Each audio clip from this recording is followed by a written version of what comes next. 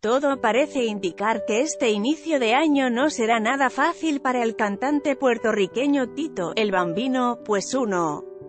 de sus familiares no la está pasando nada bien, y es que, por medio de redes sociales, informó que está preocupado por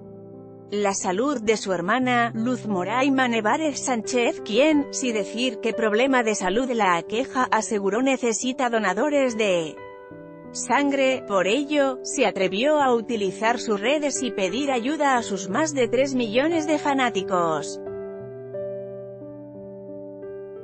En el mensaje publicado el pasado viernes puede leerse, hasta el momento, no se sabe más del estado de salud de su hermana.